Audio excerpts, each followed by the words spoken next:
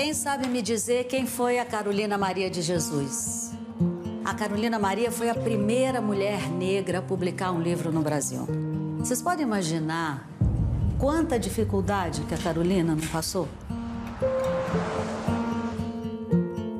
O grande desafio é conseguir que os alunos cheguem até o final.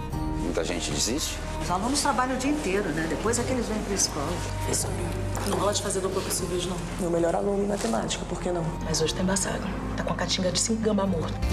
Meu Deus! Jambu! Para! Parou! Parou! Mundo parou! Vai chorar, vai chorar. Minha sala tá inundada. Não tem condição de aula. Essa escolinha, cheia de goteira, que nós amamos, é minha única esperança de conseguir um emprego, tomar um rumo na vida. Gislaine, fica na escola. Não vai embora. Não se meta na vida dos alunos. Você é professora, você não é assistente social. Terça, depois da estreia da segunda temporada de Filhos da Pátria, a nova série da Globo. A gente já tem uma batalha todo dia lá fora. Aqui dentro dessa escola, todo mundo veste a mesma camisa.